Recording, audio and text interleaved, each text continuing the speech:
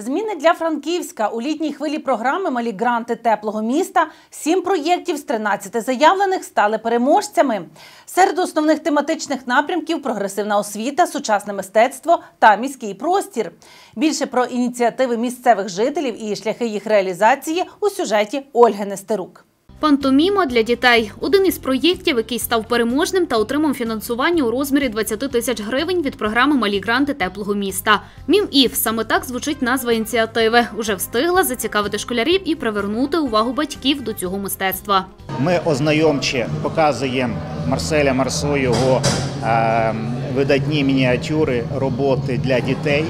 Е, Гримуємось паралельно в цей час. Діти спостерігають. Ми розказуємо про базові рухи.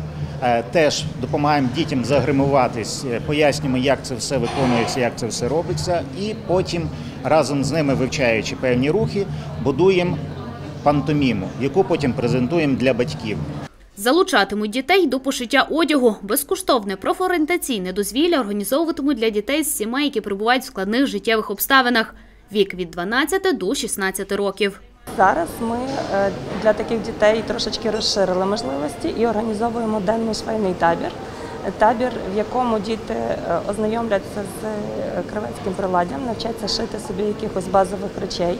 Ми додали ще трошечки курсу з фінансової грамотності, тому що діти в основному підлітки, вони будуть іти в доросле життя, і їм потрібно розуміти, що саме власне те життя їм може дати та кравецька справа. Безкоштовно на свіжому повітрі просто неба зможуть навчатись також хлопці та дівчата, які стануть учасниками освітнього простору Urban Green Garden. Тільки тут уже мова не про шиття, а про здобуття знань, як вирощувати локальну їжу, основи міського фермерства, а ще правильного збору та переробки органічних відходів. для того, щоб зробити комфортний простір для дітей, підлітків і дати їм можливість на цьому просторі не тільки е, доглядати за рослинами, а ще й вчитися.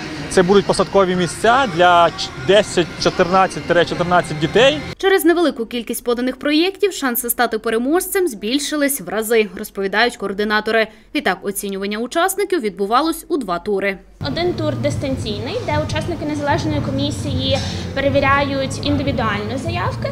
І другий, е, і другий тур у нас є тур очний, тобто інтерв'ю, захист робіт. Реалізовуватимуться проєкти впродовж трьох місяців. За їх розвитком можна спостерігати у мережі Facebook.